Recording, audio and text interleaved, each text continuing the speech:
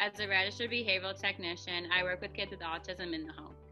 It's been a really challenging year. What I think we should all try to remember um, to put into perspective is that we're not alone, that we're all going through this together. And um, you can turn to anyone in, in our line of work, anyone at May Institute, for questions and for help um, and to just be able to help yourself cope.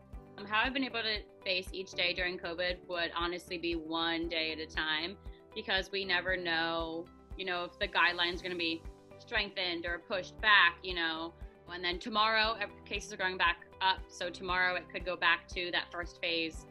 Um, and it's different every day at being in homes. So we never know what we're going to walk into in a day compared to um, before before the pandemic. It was we always had the same environment, the same situation going on. We have to adapt to their this new norm. So these kids are, you know, being in their homes all day long, and that's very different for them. So we're there to be a support system and for these children and their families to figure out, you know, what what's coming next. We because none of us know what's coming next. We build on day to day to day.